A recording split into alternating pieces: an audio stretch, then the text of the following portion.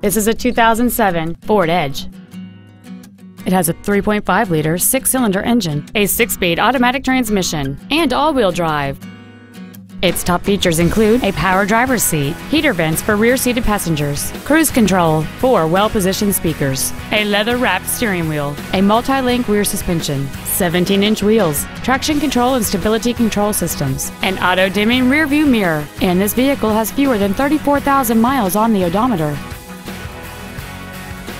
This vehicle is sure to sell fast. Call and arrange your test drive today. Williamsburg Motors is dedicated to doing everything possible to ensure that the experience you have selecting your next vehicle is as pleasant as possible. We're located at 701 East Rochambeau Drive in Williamsburg.